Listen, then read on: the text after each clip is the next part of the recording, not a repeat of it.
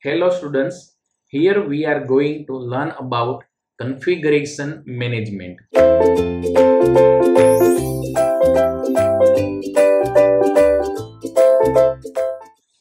So the configuration management uh, can be categorized into three parts.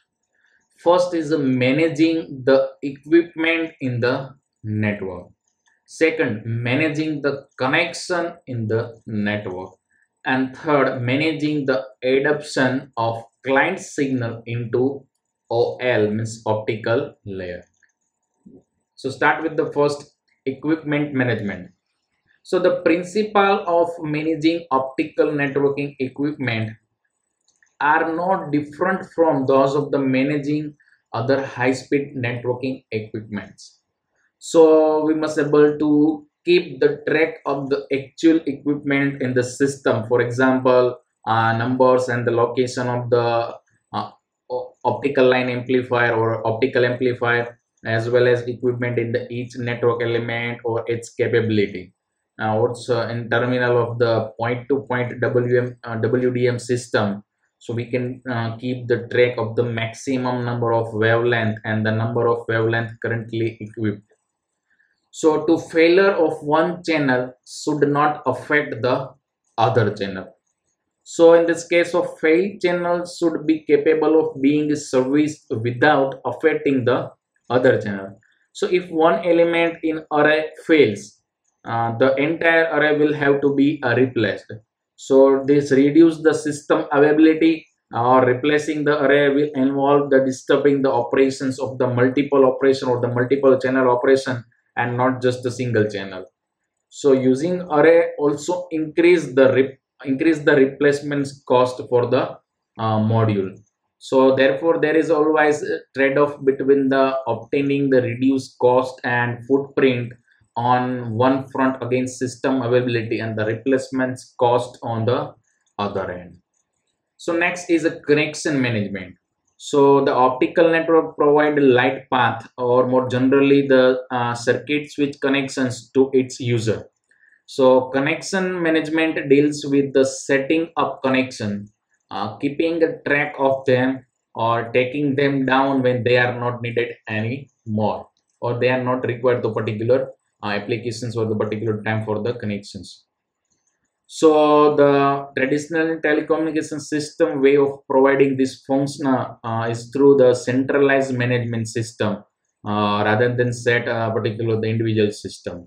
So the process uh, usually involves for the different configurations equipment uh, from variety of vendors, each with its own management system and usually one network element at a time. So service provider in many cases deploy uh, equipment uh, only uh, consider for that the when they need it, particular when they required. And then net result of this process uh, is that can be take uh, months for the service provider to turn up and for the new connections according to the response of the user request. So optical networks involve uh, connections are getting more dynamic net and networks are becoming bigger and more complex. So service provider uh, would like to provide connections to their customers rapidly.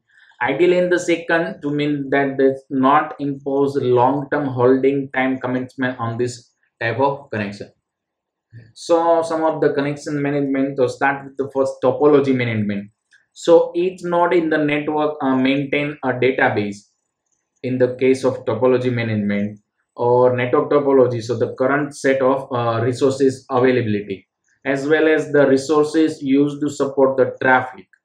So in the event of any changes in the network uh, they provide this kind of uh, all the networks node. So second is link management.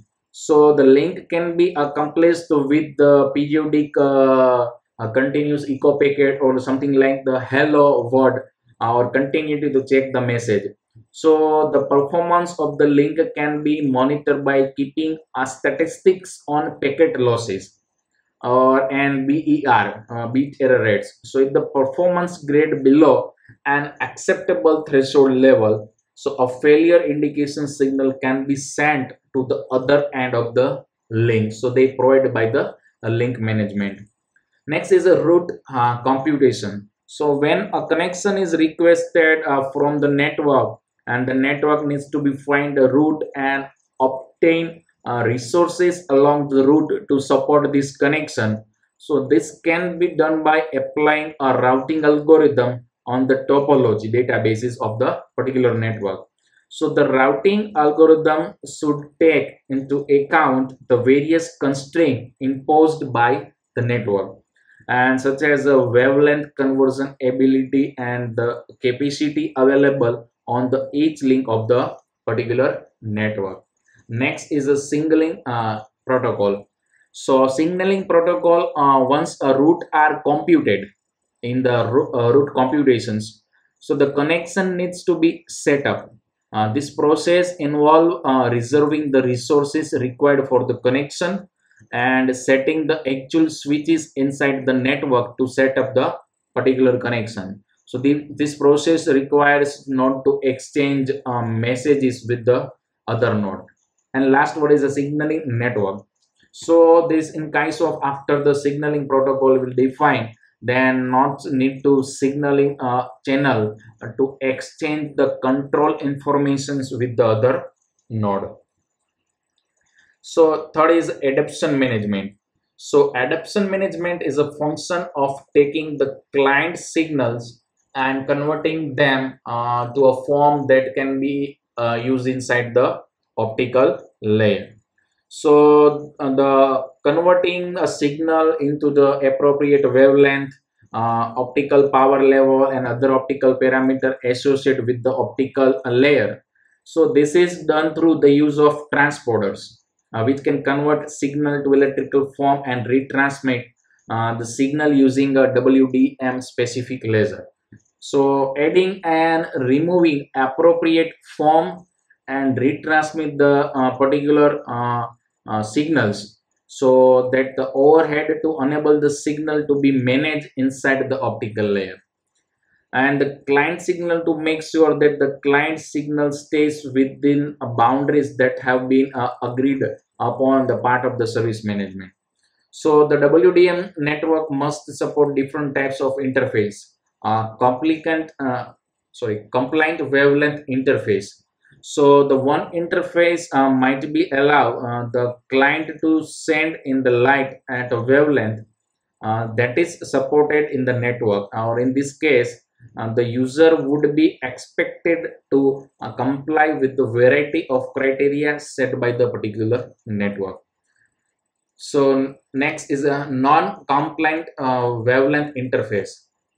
So in this case, the most common interface and encompasses a variety of different type of attached client equipment that use optical transmitter and or receiver not compatible with the signals used inside the WDM network.